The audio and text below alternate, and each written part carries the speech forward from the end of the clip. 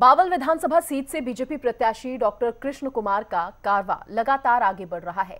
Doctor Krishna Kumar जिस भी गाँव में पहुँच रहे हैं, वहीं उन्हें हर वर्ग का भरपूर समर्थन मिल रहा है। ये बात हम नहीं कह रहे, बल्कि गाँव रसियावास में आयोजित डॉक्टर कृष्ण कुमार की चुनावी सभा में उमड़ी भारी भीड़ ने बयां किया है।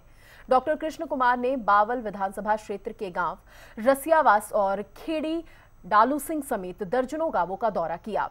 सभी गाँव में पहुँचने पर ग्रामीणों ने बीजेपी प्रत्याशी डॉक्टर कृष्ण कुमार का फूल मालाओं और ढोल नगाड़ों से जोरदार स्वागत किया।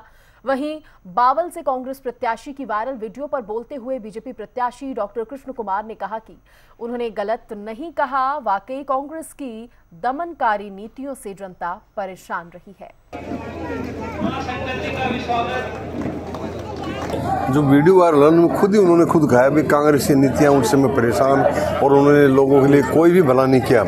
तो उनका वीडियो उनके अपने खुद के मन की बात है कांग्रेस के लिए। जी तो कहीं ना कहीं समर्थन क्या कह रहा है जिस तरीके से लोगों का सैलाब उमड़ रहा है सभाओं के अंदर दिखाई दे रहा है? देखो जनसमूह उन्होंने बिल्कुल सिद्ध कर दिया अगर सारा जनसमूह सारी बावल चौरासी और बावल विधानसभा भारतीय जनता पार्टी के पक्ष में है। और यहाँ पे जो मतदान होगा सिर्फ़ सिर्फ़ मुकाबला भारतीय जनता पार्टी का किसी से है ही नहीं सिंगल साइड यहाँ वोट पड़ेंगे। बावल और खोल ब्लॉक क्या पूरी तरह से एकजुट दिखाई दे रहा है? बिल्कुल क्योंकि राविंदरजीत सिंह जनसभा में बावल विधानसभा से पूछा था तो बावलों ने कहा था भाई हर बार हमारे वोट कम होते हैं। उन्होंने ये भी कहा भी हम कंपटीशन करेंगे।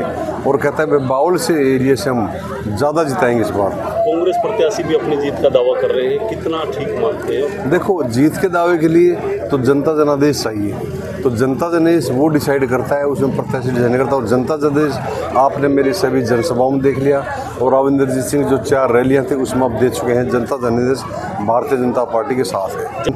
मैं तो प्रत्यक्ष तौर पर जब चुनावी जनसभा कर रहा हूँ तो लोग एक अच्छी खासी भीड़ उमड़ के सामने आ रही उससे क्लियर साफ़ है कि जनता जनादेश भारतीय जनता पार्टी के हमारे साथ है।